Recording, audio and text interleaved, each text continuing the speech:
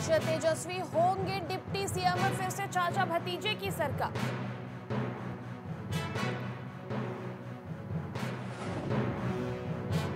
Supreme court में सुनवाई आज, जमीयत उलेमा हिंद ने एक्शन पर उठाया सवाल।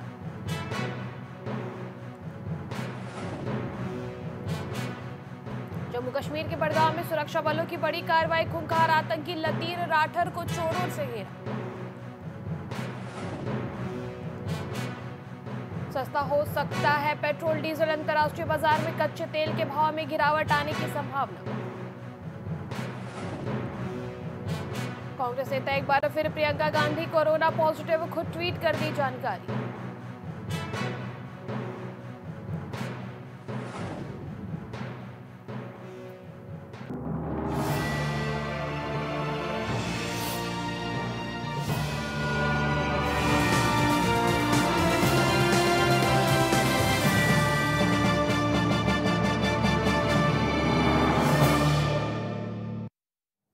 आज यूपी के मुख्यमंत्री सीएम योगी आदित्यनाथ दिल्ली दौरे पर जाएँगे। इसी कड़ी में करीब तीन बजे सीएम दिल्ली पहुँचेंगे, जहाँ वो उपराष्ट्रपति वेंकैया नायडू के विदाई समारोह में शामिल होंगे, जिसके बाद 11 अगस्त को सीएम नए उपराष्ट्रपति जगदीप धनखड़ के शपथ ग्रहण समारोह में भी शामिल होंगे।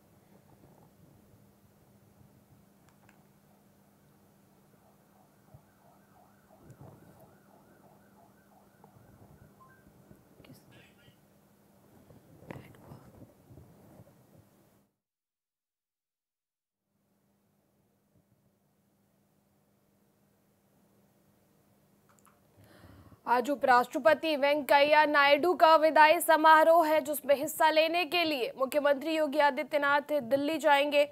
अंतिम विदाई देने के लिए वेंकैया नायडू को वो दिल्ली जाएँगे और विदाई समारोह में शामिल होंगे। वही जिसके बाद 11 अगस्त को जो नए उपराष्ट्रपति के रूप में शपथ लेंगे, जगदीप धनखड़, उनके शपथ ग्रहण समारोह में भी मुख्यमंत्री योगी आदित्यनाथ दिल्ली जाएँगे। संवाददाता सुशांत नागपाल इस खबर पर अधिक जानकारी के लिए हमारे साथ जुड़ चुके सुशांत।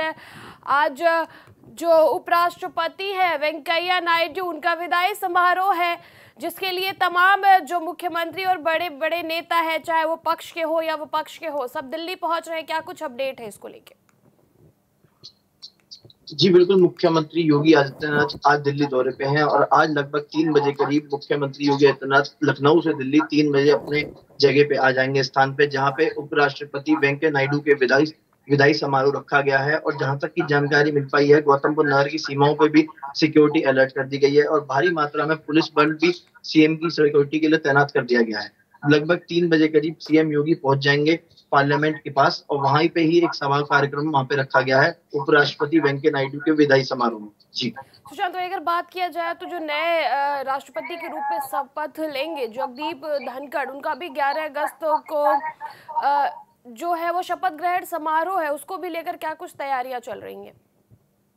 जी बिल्कुल 11 अगस्त को बताया जा रहा है कि जब जगदीप धनखड़ जी पद लेंगे उपराष्ट्र, राष्ट्रपति का। उस दौरान ही अब संभावना है कि सीएम योगी आदित्यनाथ 11 अगस्त को भी उनके शपथ ग्रहण समारोह में वहाँ पे उपस्थित रहेंगे।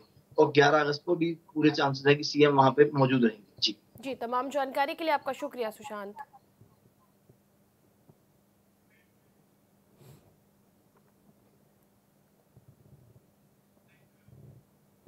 आगरा कैंट स्टेशन पर आरपीएफ के जवानों की तिरंगा यात्रा का स्वागत किया गया आरपीएफ के जवानों को फूलमाला पहनाकर स्वागत किया तिरंगा यात्रा दल में गुजरात महाराष्ट्र मध्य प्रदेश जोन के आरपीएफ के जवान शामिल थे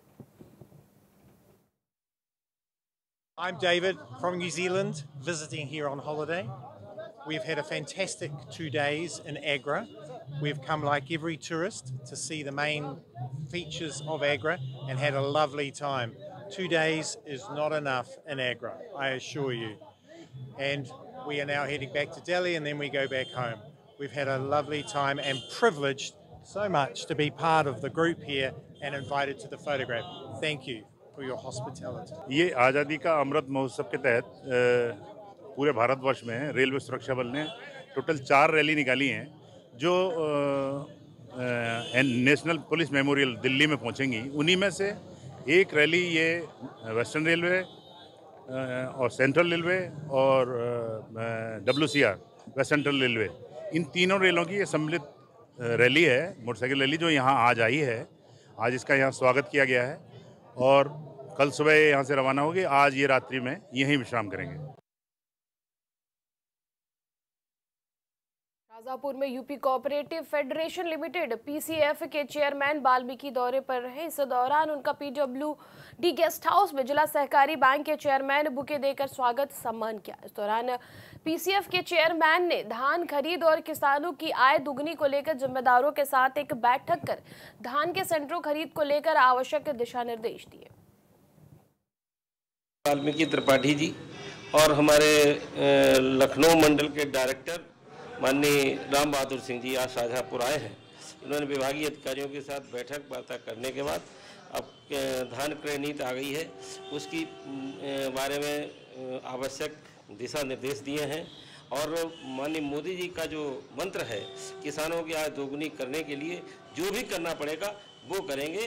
भाजपा की सरकार जहाँ भी हैं और जिस प्रदेश में है और उत्तर प्रदेश में पिछली योगी जी की सरकार और योगी टू की सरकार में भी किस, किसानों का पूरा का पूरा गेहूँ तोला गया और इसी तरीके से धान का भी पूरा का पूरा मूल्य देने की व्यवस्था हम लोग सुनिश्चित कर रहे हैं। शाहजहाँपुर को मैं अपना घर मानता हूँ और अपने घर आया हूँ। अपने भाई बांधवों से मिल करके एक, परिवार में जो प्रसन्नता होती है, वही प्रसन्नता का अनुभव कर रहा हूँ और परिवार से मिल करके और परिवार के बारे में जानकारी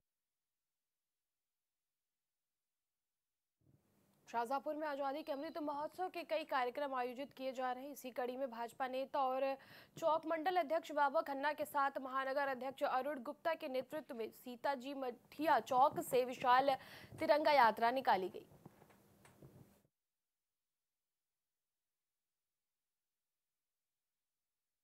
आज़ादी का पचहत्तरवा वर्ष हमने पूरा किया है, आज़ादी का अमृत महोत्सव है।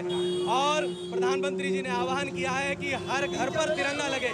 उसी के लिए जागृति समाज में हो और नई पीढ़ी को ये पता चले कि कितनी कुर्बानी और बलिदानियों के बाद ये आज़ादी मिली थी। इसी उद्देश्य के साथ भारतीय जनता पार्टी चौक मंडल युवा मोर्चा की ओर से ये तिरंगा यात्रा निकाली जा रही है। हम सभी युवाओं के बीच में बहुत उत्साह है। आज़ाद भारत 75 साल का हुआ है और 100 साल पूरे करने पे हम विश्वगुरु बनेंगे।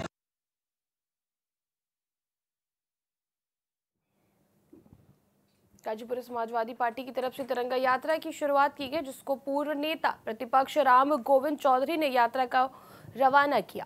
तिरंगा यात्रा आज से शुरू होकर कई जनपदों से होती हुई 27 अक्टूबर को वाराणसी पहुंचेगी। जानकारी के मुताबिक समाजवादी युवा नेता अभिषेक यादव की अगुवाई में यात्रा शुरू की गई है।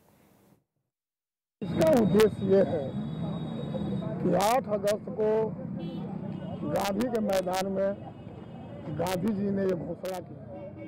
अब हमको आज़ादी से कम कुछ नहीं चाहिए। इसलिए उन्होंने करो या मरो का आंदोलन दिया कि जब तक देश आज़ाद नहीं हुआ, हम हटाने के लिए सरकार को आंदोलन करेंगे।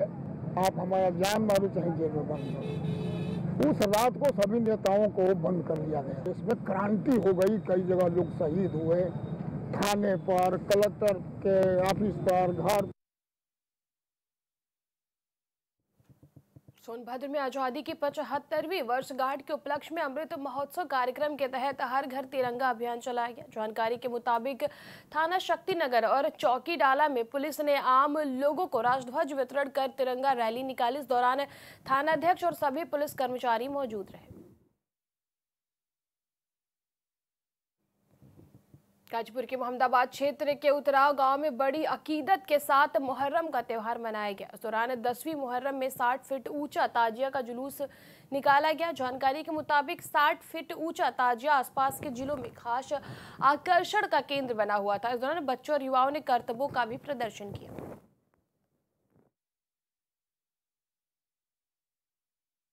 करीब करीब पैंतालीस पचास फुट पैंतालीस पचास फीट। इस ताजिए को बनाने में कितना समय लगता है आप लोग को? ज़्यादा काम रहता है तो दो महीने और नहीं तो एक महीने में हो जाता है। कितने कारीगर मिलके काम करते होंगे? ये बाहरी कारीगर मंगाते हैं या खुद काम करते हैं आप लोग? हम लोग सब गाँव के ही काम हम लोग खुद बनाते हैं। एक महीना लगा है ताजिया बनाने में। पूरा एक महीना लगता है बनाने में? एक महीना। ये कितनी फुट ऊंचाई की ताजिया होगी आपकी? क्योंकि पूरी जनपद में फ़ेमस है ये ताजिया यहाँ की। पचपन साठ का लपेट है अच्छा कितना वज़न हो सकता है इस ताजिए का? दस दस कुंटल होगा। दस कुंटल होगा। महसूस तो बहुत अच्छा हो रहा है। कभी सोच नहीं सकते थे कि दो साल बाद जो है मिलेगा फिर मौका हमको मौका मिला। हम मना रहे हैं। ये ताजिया कितना फीट ऊंचाई होगी और कितना वज़न होगा इस ताजिए का? क्योंकि ये ताजिया पूरी जनपद में फ़ेमस है इस ग्राम सभा की ताजिया लमसम जो है पचपन से साठ फीट की ताजिया है। अच्छा। पचपन साठ फीट की ताजिया है। और वज़न कितना होगा? वज़न तो अंदाज़ा नहीं कर पाएँगे कि वज़न कितना होगा। लमसम जो है डेढ़ सौ, दो सौ लोग लगते हैं धोने में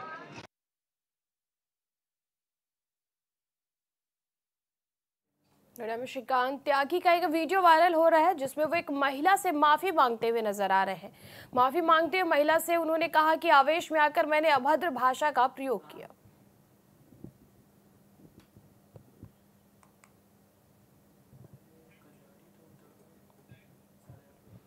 खबर सोनभद्र से है, जहाँ पर पुलिस अधीक्षक के निर्देशन में मादक पदार्थों के खिलाफ अभियान चलाया गया, जिसके तहत क्राइम ब्रांच और पुलिस की संयुक्त टीम ने मोटरसाइकिल सवार को गिरफ़्तार कर लिया। दो तस्कर के कब्जे से करीब 110 ग्राम हेरोइन बरामद किया गया है। गिरफ्तारी के संबंध में थाना रॉबर्ट्सगंज पर एनडीपीएस एक्ट का अभियोग पंजीकृत किया गया है। हमारे स्वाट और सर्विलांस प्रभारी और थाना रावटसगंज की पुलिस ने मिल करके एक, बहुत अच्छे दो हीरोइन तस्करों को गिरफ़्तार किया है। इसमें एक है अब्दुल मजीद उर्फ़ बच्चा और दूसरा है इम्तियाज़ अंसारी। ये दोनों रावटसगंज कस्बे के रहने वाले हैं। इनका दोनों का पूर्व में भी आपराधिक इतिहास है और इनके कब्जे से डेढ़ सौ ग्राम हेरोइन बरामद हुई है।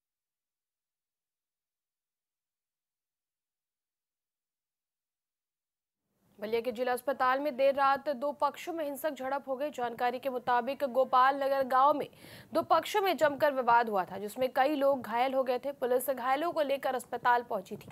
वहीं पर एक पक्ष ने दूसरे पक्ष पर हमला कर दिया। घटना के बाद पुलिस महकमे के आला अधिकारियों ने मौके पर पहुंचकर मामले को संभाल लिया।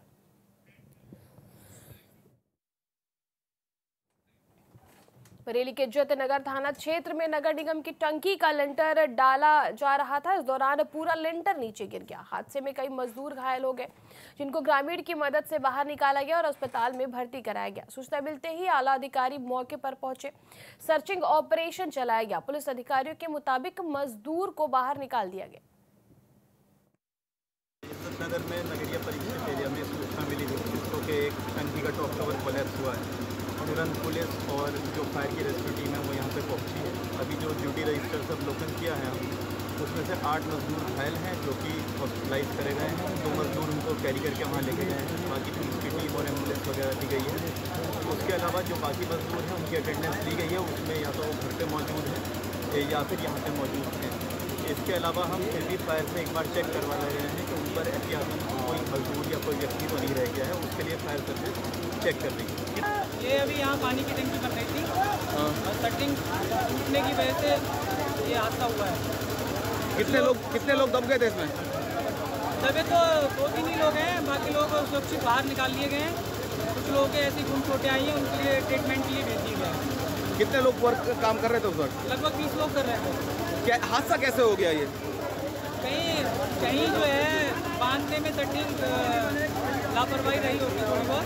उसकी वजह से ये हादसा हुआ। किसकी लापरवाही थी? ठेकेदार की थी या स्टाफ? ये स्टाफ की रही होगी। अब तक की खास खबरों में इतना ही। आप देखते रहिए प्राइम टीवी।